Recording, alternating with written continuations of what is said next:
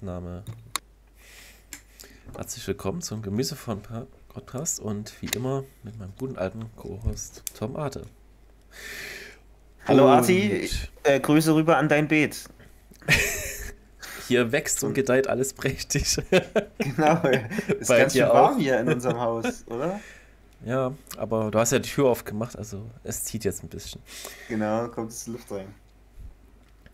Und nachdem wir beim letzten Mal, ja, versucht haben, die Leute fernzuhalten und ja, damit eigentlich so wie zu den hiesigen Zuständen gelandet sind, wollen wir das Ganze jetzt mal auf ja, Drogen spielen und äh, warte mal, äh, no? ganz kurz zur Einordnung, was wir spielen. Ja, wir, es geht bei uns jetzt nochmal um das Spiel Destination Ubop. Das äh, hast du jetzt vergessen zu sagen, aber gut, ja, ich denke, das es wird für euch aus dem Titel wahrscheinlich richtig, richtig, genau. Ja. Das war dieses lustige Diskussionsspiel äh, zur Erinnerung, wo man wählen konnte, was man für Migrationspolitiken einführt. Genau, und wir haben halt immer die, die rechten Politiken genommen und jetzt widmen wir uns mal den linken so als kleiner Nachtrag, wir wollten ja mal schauen, was passiert, wenn man sich für die linken Standpunkte entscheidet, ob dann die Story viel anders wird. Mhm. Also ich bin ja. gespannt jetzt, also ob wir genauso wieder bei den Zuständen wie heute rauskommen. Ja, ich frage mich jetzt auch, ob das, ob das Spiel jetzt bewusst äh, so einen Graubereich auch hier bei den linken Dingen aufmacht. Und ich denke, ich gehe mal von aus. Aber mal sehen, wie stark. Okay, also. Denkst du, also ich, ich würde sagen, das wird alles sehr rosig gezeichnet werden. Das ist jetzt ah, so. Glaube ich auch. Also wahrscheinlich eher ja, aber ich denke nicht, dass sie es sich so einfach machen werden. Das ist jetzt meine, meine Prognose. Na gut, mal gucken, wer gewinnt hier. Ich gehe mal rein, ja? Genau. Okay. Wetten wir um ein Liter Dünger oder so. Einmal extra gießen. Äh, genau, ja. das war das, das war das Ereignis 1, ein Boot im Mittelmeer. Und dann gab es hier 1a, bringt sie, in, also kurz zum Ereignis, es taucht dann so ein Flüchtlingsboot auf, was machen wir damit? So, und äh, wir hätten uns damals entschieden, entscheiden können für, bringt sie in einen europäischen Hafen und verteilt diejenigen, die Schutz benötigen, auf die EU-Länder. Das hatten wir auch schon besprochen in der ersten Folge. Das können wir jetzt hier kurz übergehen. Mhm. Das haben wir halt damals nicht gewählt. Ähm, so, genau. Und wenn man das nämlich wählen würde, äh, würde man dann zu einer neuen ähm, Entscheidungssituation kommen. Also ein neues Thema müsste man entscheiden. Also das ist dann Situation 2. Und hier wäre wieder die, ich sag mal, die gute, die offene Entscheidung, wäre jetzt hier 2a und das können wir uns mal genauer anschauen. Ich lese mal vor, ja? Ja, bitte sehr. Mehr finanzielle Unterstützung und Hilfe für Länder, die Flüchtlinge aufnehmen. EU-Länder, die Asylbewerber aufnehmen, erhalten mehr EU-Mittel und Einfluss. Oh, und Einfluss ist interessant. Hm. Asylanten werden Ländern zugewiesen und können sich EU-Ziel EU nicht immer selbst aussuchen. Mhm. So, was denken denn unsere drei Protagonisten? Ihr habt entschieden, dass einige EU-Länder die Zahl der Asylanten unter sich aufteilen werden. Ahmed ist glücklich. Ich werde in ein Land geschickt, über das ich nichts weiß. Deswegen werde ich es nicht zu meinen Cousins schaffen, äh, die mir versprochen haben zu helfen. Aber ich habe einen Flüchtlingsstatus bekommen. Okay. Femi ist, äh, Sie können mich jeden Moment zurückschicken. Es ist sehr stressig, aber ich hoffe, dass ich Arbeit finde und Geld nach Hause schicken kann. Und Jasmin ist äh, freudig erregt. Die europäischen Länder arbeiten zusammen, um Migranten zu helfen. Ich hoffe, auch ich werde willkommen sein. Und die äh, EU-Öffentlichkeit geht natürlich nach links. Es ist gut, dass Flüchtlinge Schutz finden. Aber was ist, wenn zu viele kommen und der Druck auf Schulen und Krankenhäuser zu groß wird? Da fehlt doch irgendwie die Gesellschaft. Hm. Aber gut. Ich finde die Karte hier ein bisschen eigenartig. Wieso? Naja, das ist halt wirklich so, so sehr rosig mal wieder alles. Also mehr, mehr finanzielle Unterstützung und Hilfe für Länder, die Flüchtlinge aufnehmen. Und Asylsuchende werden Ländern zugewiesen und können sich ihr EU-Ziel nicht immer selbst aussuchen. Also, das mag ja sein, wenn du so eine Verteilung hast, aber ist es dann nicht so, dass die dann trotzdem einfach abhauen können? Dass die, als, also du bist jetzt zum Beispiel nach, weiß ich, Polen geschickt, dass du dann sagst, ach, ich ziehe einfach weiter nach Deutschland. Ich meine, was soll denn passieren? Zumindest ist es aktuell so. Die können auch einfach mhm. irgendwo hin, oder sehe ich das falsch? Was ich nicht verstehe, ich dachte, du hättest das Rosigste ausgewählt. Also das Rosigste wäre doch, dass der Asylant so eine Karte von Europa bekommt und der kann dann so einen Doppel nehmen und sagen, da will ich hin, so, weißt du? Ja, das, das, das ja, ist das ist interessant. Das ist hier tatsächlich schon das Rosigste. Also so weit aus dem Fenster tun sich, sich nun nicht lehnen in dem Spiel. Das ist ja okay. Aber interessant finde ich äh, mit dem Einfluss das tatsächlich. Ja. Also, dass, dass diese ganzen ja, Außengrenzenländer der EU dann mehr an Einfluss gewinnen, obwohl sie halt ja die Sachen gar nicht eigentlich finanzieren. Ne? Hm, hm, hm, EU-Länder, die Asylbewerber aufnehmen, erhalten mehr EU-Mittel und Einfluss. Ja, mit diesem Einfluss ist wirklich komisch. Also, was heißt denn hier Einfluss? Kriegen die dann mehr Stimmen in der EU? Oder also wie soll das mhm. ablaufen? Dieses Thema Einfluss. Wie ist das zu verstehen? Vor allem streng genommen ist ja dann äh, Deutschland, wie soll ich sagen, äh, der Top-Dog. Also. Was meinst du? Ja, wer hat denn noch mehr aufgenommen als Ach so. Schweden? Ja, na klar, also wir, also das, ja, das Irre wäre, wir würden dann das meiste Geld bekommen, einfach von uns selbst. das Obama-Beam. ja, mit der Medaille. Ja, ja, genau, genau. Wir würden uns selbst die Medaille umbringen. So, und das führt auf jeden Fall zum Zukunftsszenario 5. Das ist jetzt hier, wenn wir zweimal links gewählt hätten, Akzeptanz, Integration und Spannungen in der EU. Ahmed ist sicher. Okay, kurz und bündig. Jasmin glaubt, dass Europa der richtige Ort für sie ist. Schade. Femi steckt mit seinem irregulären Status Na. fest und versucht Geld zu verdienen, um es nach Hause zu schicken. Entschuldigung? Wie heißt das richtig? Illegalen. Ach so, ah ja, Femi steckt mit seinem illegalen Status fest. Natürlich, versucht Geld zu verdienen, um es nach Hause zu schicken. So, die EU-Öffentlichkeit wird offener. Die Asylsuchenden werden auf die Länder verteilt, sodass jedes Land eine überschaubare Zahl empfängt. Die EU investiert viel Geld, um ihnen bei der Integration zu helfen. Aber das braucht Zeit. Die EU steckt auch Geld in die Rückführung von Menschen, die kein Bleiberecht haben. Einige Mitgliedstaaten haben jedoch ihre Zusammenarbeit in Migrationsfragen eingestellt. Das führt zu Spannung innerhalb des Blocks. Also ich habe das Gefühl, die äh, beschreiben hier sehr so die aktuelle Situation, oder? Also ich finde es auch schön, wie sie so einen kleinen Witz hier einstreuen mit, die EU steckt auch Geld in die Rückführung von Menschen, die kein Bleiberecht haben. Also ja, eben, ja. das ist. Ich fand, fand, Gefühl, fand ich sehr lustig, so Art, ja. So eine Art Traumbild, so wie sie sich die aktuelle Situation gerne zeichnen würden. Und dann aber am Ende der Verweis, ja, es gibt auch äh, Länder, die da nicht so gut mitmachen hier. Wahrscheinlich die osteuropäischen, wisst ihr, mhm. Ungarn, Polen und so. Mhm. Du hast ja beim letzten. Mal rausgearbeitet, es gibt ja noch diese, diese osteuropäische Version dieses Spiels. Ja, ja. Da werden, oh, wird dann auf diese Leute drauf eingegangen. Ja, müssen, ja, müssen wir auch nicht. Ja, das reicht dann auch mit dem Spiel. So, das wäre jetzt auf jeden Fall das positive Szenario ähm, am Ende. Springen wir mal Block. zu Karte 8, ja? Genau, das ist dann die nationale Ebene, da Arbeiter gesucht. Auch die Karte haben wir letztes Mal schon gesehen, die hätten wir wählen können. Erleichtert es, ausländische Arbeitskräfte einzustellen. Und da würden wir dann zu Karte 9 kommen, wenn wir das machen. Entschuldigung.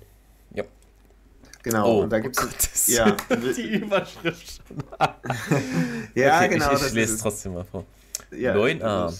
Ihr investiert in Integration und akzeptiert Vielfalt. Helft Migranten, die Sprache zu lernen und sich an das Leben vor Ort zu gewöhnen. Ihre engsten Familienangehörigen können leicht nachziehen. Ah, hm. Herkunftsländer ah. der Migranten haben nicht genug Arbeitskräfte Oh, das ist interessant. Wenn zu oh. viele Menschen nach Europa gehen. Oh. Was, was ist hier los? Richtiger Punkt. Richtige linke Takes hier. Ist schlimm. so, wie wirkt sich das aus? Ahmed sagt, Ausländer können hier ein neues Leben beginnen. So wie ich. Ich bin auch dabei. Ich kann mir nicht vorstellen, in absehbarer Zeit in meine Heimat zurückzukehren. Ach, das genau das ist das Problem. Genau, halt, ja. genau das ist das Problem an der Stelle. Mhm. So, Femi ist, für mich macht das kaum einen Unterschied. Zu diesen Integrationskursen können nur Menschen mit gültigen Dokumenten gehen. Mhm, okay. ja, ist nicht unser Problem. Und Jasmin ist auch so ein bisschen angefressen. Ich mag dieses Land, aber ich vermisse meine Familie.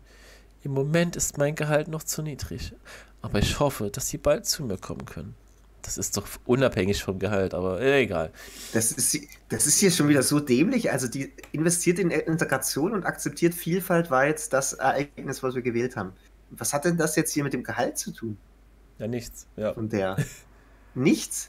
Vor allem, ich vermisse meine Familie. Äh, die Familie, das steht ja sogar drauf, ihre engsten Familienangehörigen können leicht nachziehen. Also auch da, also ich hätte jetzt hier ein Positiv erwartet.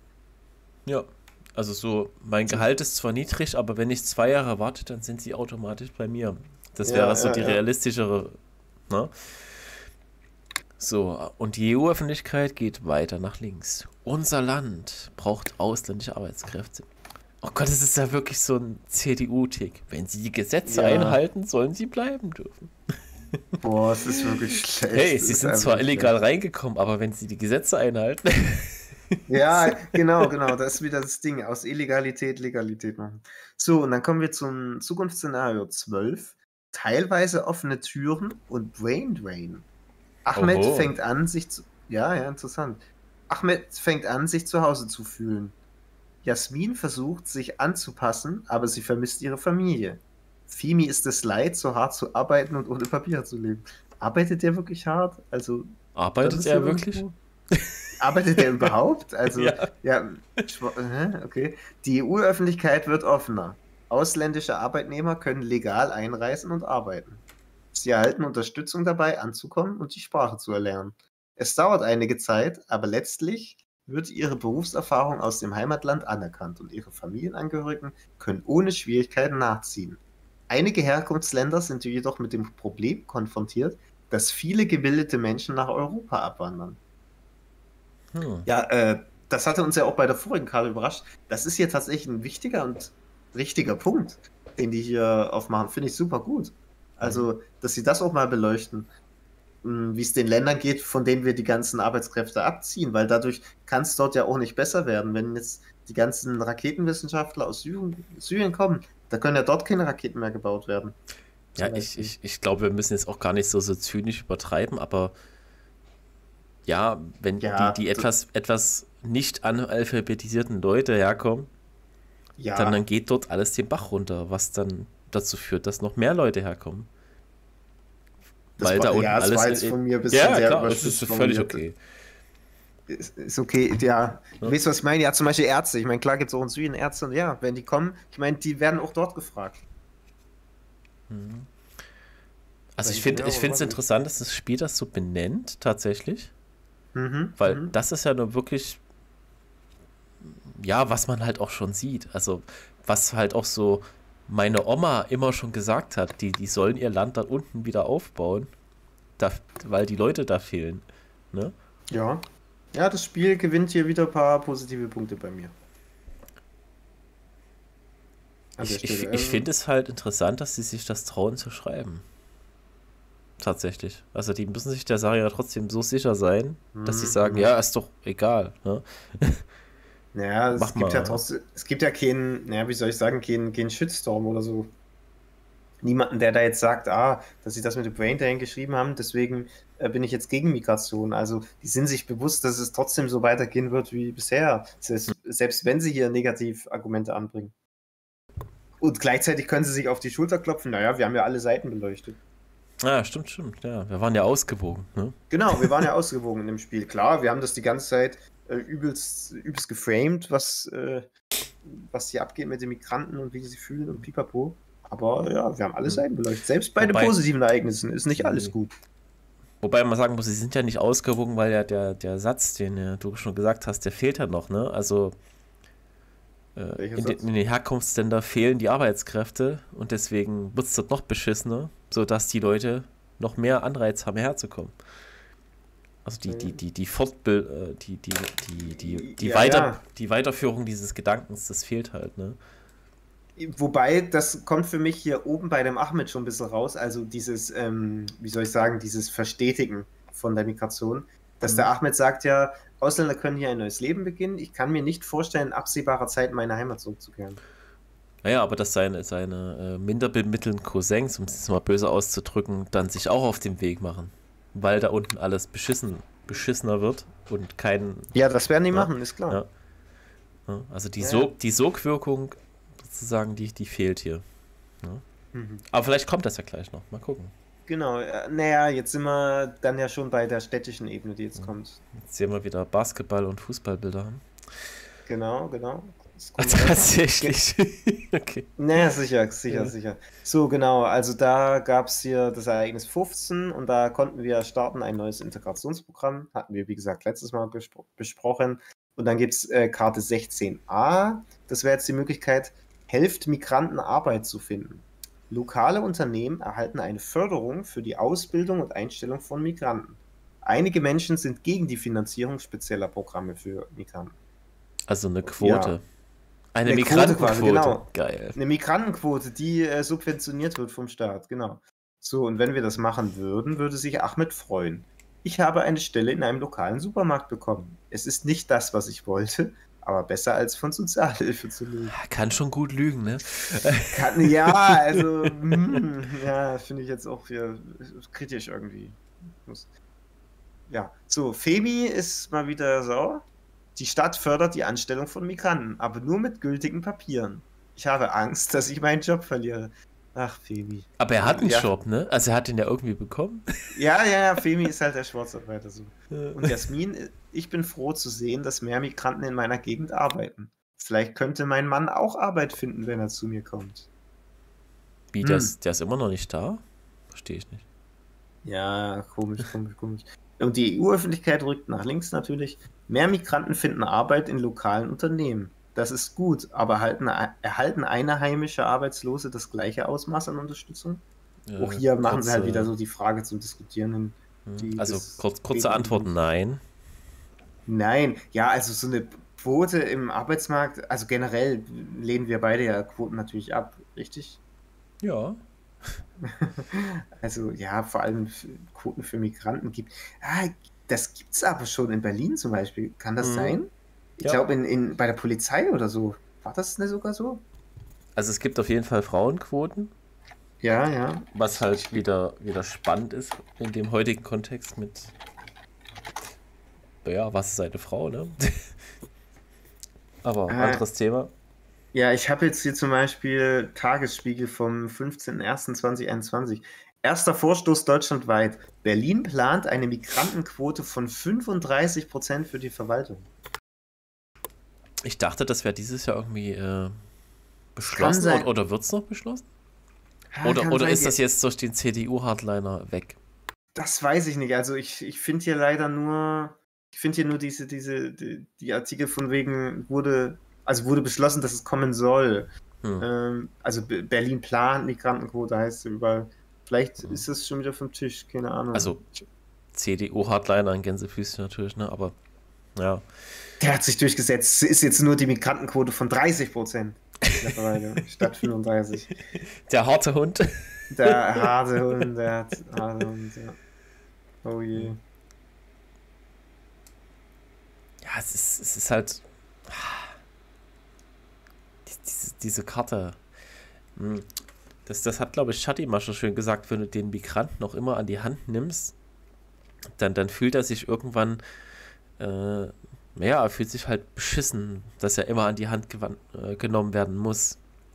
Sorry, ich war jetzt kurz, ich hatte Discord-Problem.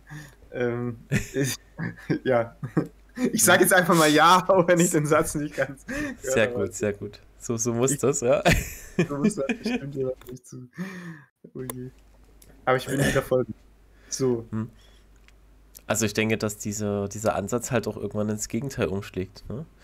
Wenn du die Leute halt so mhm. bemutterst, permanent, das, das, das geht halt auch nicht gut. Dann, dann sind nee, sie auch in ihrem Stolz verletzt, was ich sehr ja, gut nachvollziehen kann. So, ja. und was ist, ist jetzt das, das große, ist das jetzt das große Finale? Mal schauen. Ja, liest du mal. Sprache, Arbeit und bessere Beziehungen. Ahmed ist froh, einen Job gefunden zu haben. Jasmin malt sich eine Zukunft für ihre Familie in eurer Stadt aus. Femi versucht, sich anzupassen, ist aber besorgt, seinen Job zu verlieren. Er macht dir keine Sorgen, kriegst Sozialhilfe, alles cool. Genau. Die EU-Öffentlichkeit wird nochmals offener. Die sind jetzt wirklich ganz links mit unserem Chip. Also das Schon Arschloch über ist, den Rand wahrscheinlich. das, das Arschloch ist sehr geweitet. Entschuldigung. Die Stadt hat durch Kurse und Beschäftigungsförderung die, äh, in die Integration investiert. Es ist nicht immer möglich, Arbeitsplätze mit den Qualifikationen und Fähigkeiten der Migranten abzugleichen und ihr Potenzial voll abzuschöpfen, äh, auszuschöpfen. Viele Einheimische schätzen die Bemühungen der Migranten, die Sprache zu lernen und Arbeit zu finden. Die Beziehungen verbessern sich. Oh.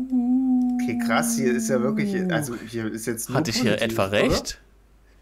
Also hier ist, das Ähm. ist ja wirklich so ein Ding. Super, super rosig. Hast recht. Sch- Entschuldige, dass ich so rumschniefe, aber Ja. das, das einzig Negative ist ja sinngemäß, äh, wir waren noch nicht ähm, gut genug. Wir sind noch nicht, äh, wie soll ich sagen, ansprechend auf sie drauf zugegangen. Ne?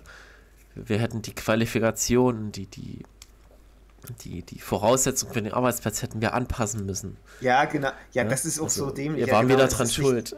Genau, wir waren dran schuld, weil wir müssen, ja, wir müssen da noch ein bisschen offener werden. Also, dass man, äh, so, sonst entgeht uns der ihr Potenzial. Also, ich bin hier auch wieder vorsichtig. Also, dieses Ding, Potenzial von den Migranten, also, sind wir doch ehrlich, das Potenzial ist halt gering. Also, da ist Ja. nicht viel auszuschöpfen. Ja, und Weil- auch dieses, dieses Ausschöpfen ist halt auch wieder so ein. Es tut mir leid, ich sage es wieder so ein Kapitalismus-Take, ne? Ja, so ist es aber. Ja, genau so, so, ist es. Es Also, ist halt das andere Wort für um. Ausbeuten. Ja. Genau, hier geht es nur um Geld und Gewinnmaximierung. Um die Leute an sich geht es gar nicht. Es geht um der ihre Arbeitskraft. Die wollen wir. Oder die wollen ja die Macher von dem Spiel. Richtig. Ah, also das war jetzt wirklich sehr, sehr, sehr rosig. Aber ich hab's Krass. auch nicht kommen sehen nach den ganzen Karten vorher.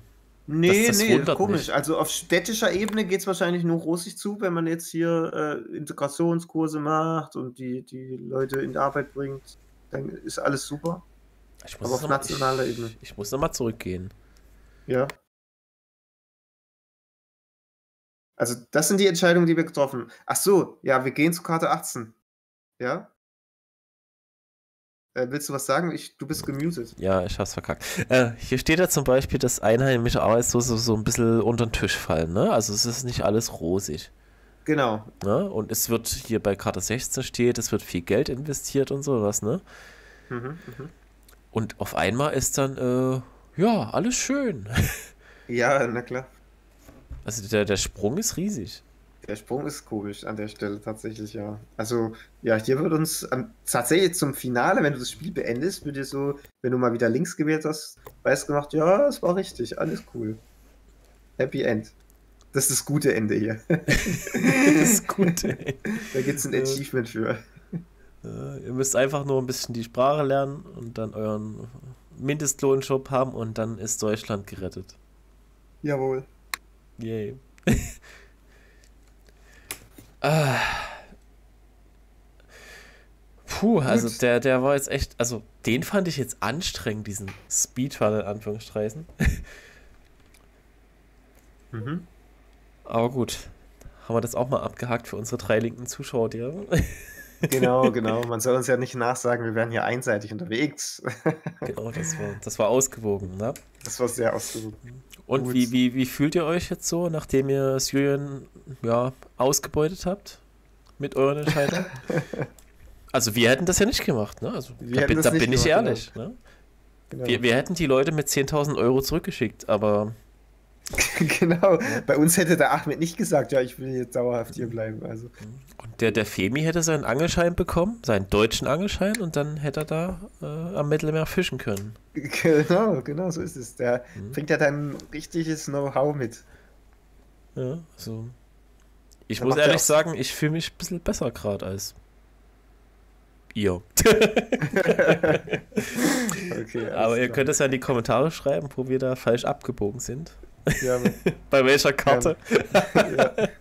Im- Wo im Leben? Ja. Warum tun wir uns das an? Ja, okay. Gut, dann würde ich sagen, Zeit fürs äh, YouTube-Gebet. Amen. Amen. Und uh, passend, zu, passend zu diesem Spiel äh, machen wir jetzt äh, Festung Gewächshaus auf, indem wir die Tür schließen. Genau. Und dann Sehen wir uns beim nächsten Mal. Ja. Tschüss.